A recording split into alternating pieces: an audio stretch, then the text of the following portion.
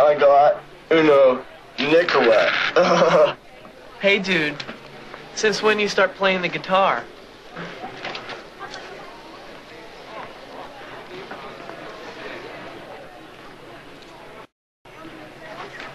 Mick Jagger gave me this pick.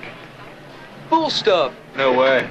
I went to the Stones concert, remember? Anaheim Stones concert. Yeah. I go backstage. Who do I see? It's Mick. So I cruise on over. I'm gonna meet the man, you know? And as I get over there, he says, Yay, bro. What's your name? I go, Jeff Spicoli, dude.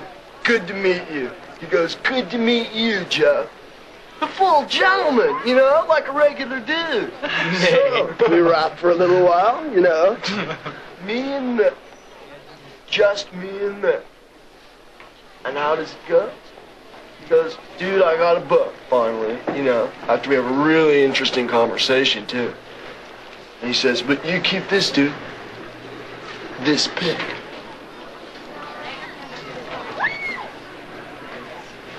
You know something?